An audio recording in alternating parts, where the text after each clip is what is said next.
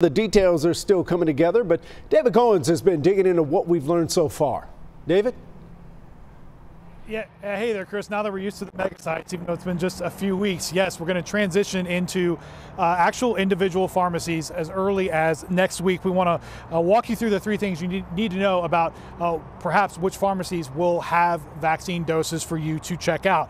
Now, according to the Centers for Disease Control, there are four chains that operate in Texas that will start receiving doses uh, next week. They are CVS, HEB, which of course has stores on the outskirts of the Metroplex, Good Neighbor Pharmacy, which represents represents a lot of independent, uh, typically family owned stores, and Walmart. Now, so far of those four, only CVS has announced the total number of stores that it will have uh, the vaccine 70 again we don't know the locations and we know uh, plano was mentioned in some of the uh, uh information that cvs provided to us on this now no word yet on which of those uh, four chains uh, where the actual uh, shots will be administered uh, individual addresses, but that is coming uh, relatively soon. Now, the CDC is instructing everyone to, uh, if you're interested in perhaps signing up, uh, being on a wait list for a pharmacy, to go to their website, check to see what addresses uh, materialize, and then register for a dose. You'll be on a waiting list, much like you would be if you're at any county in North Texas.